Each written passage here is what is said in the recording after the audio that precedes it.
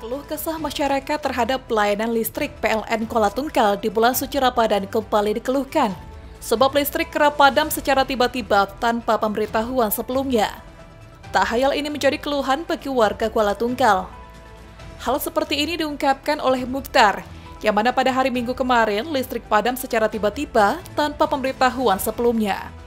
Bahkan listrik mati hingga beberapa kali dalam satu hari atau mencapai empat kali. Selain itu, voltase listrik juga rendah, sehingga membuat alat elektronik masyarakat tidak mampu optimal seperti biasanya. Seyogyanya selama Ramadan ini, pelayanan PLN Kuala Tungkal lebih ditingkatkan atau lebih optimal.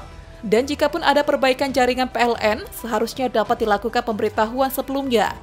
Karena kebutuhan masyarakat terhadap listrik sangat meningkat, terkhusus bagi masyarakat yang berjualan menu berbuka.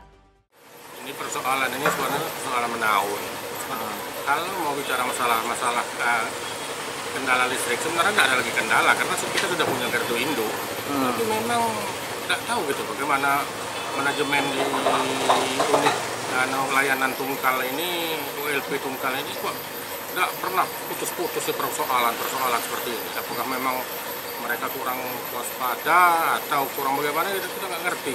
Kemarin tuh gimana bang? Minggu kemarin sempat uh, padam berapa kali tuh bang dalam sehari? Kalau padam kemarin tidak hitungan lagi, malah tegangan ada sampai di bawah 90, Aha. 90 volt. Aha.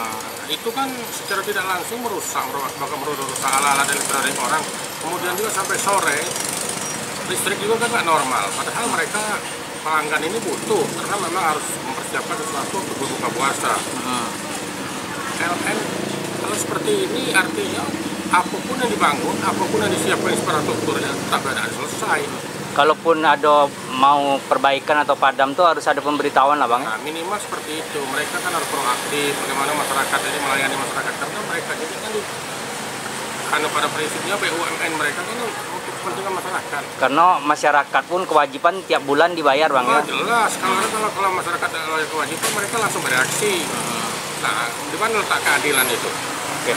Dan satu sebenarnya kami, kalau memang bisa coba dulu di rolling lah ke pimpinan PLN di sini itu. Mudah-mudahan dengan yang baru ada perubahan. Oke. Sementara itu, ungkapan serupa juga dikatakan Yusuf. Dampak dari listrik kerap padam secara tiba-tiba, tak hayal membuat ia merugi. Karena depot air minum isi ulang tidak dapat melayani pelanggan secara normal.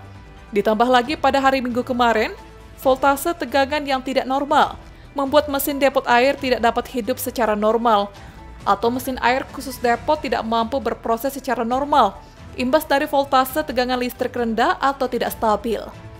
Dirinya berharap pelayanan PLN selama Ramadan ini lebih baik kembali, karena hanya ini keinginan masyarakat, terkhusus bagi masyarakat yang keseharian menggunakan listrik. Pengaruh, Bang. Ah, seperti apa pengaruhnya, Bang? Pengaruh daya itu tak kuat untuk ah, narik. Jadi putaran air ada berputar, Bang iya, ya? Bang. Untuk ngisi ya? Iya, aku ngerinya rusak ya. Ngeri mesin rusak ya? Masalah mesti ya tahu dewek lah mahal bang ya.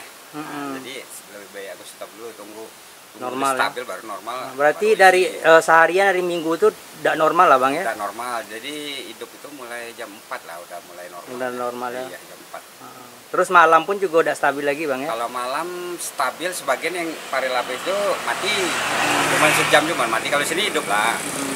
Kalau kita harapan kita selaku uh, warga terus depot ini kayak mana bang harapan untuk ya, listrik? Harapan kami sih kalau bisa listriknya stabil. Jadi kan kami ini ibaratnya usaha melalui listrik ini payah kalau mati kan. Hmm. Karena tergantung dari listrik lah. Sangat mengganggu lah bang ya, Ganggu, merugi bang. juga gitu kadang sehari itu bang ya.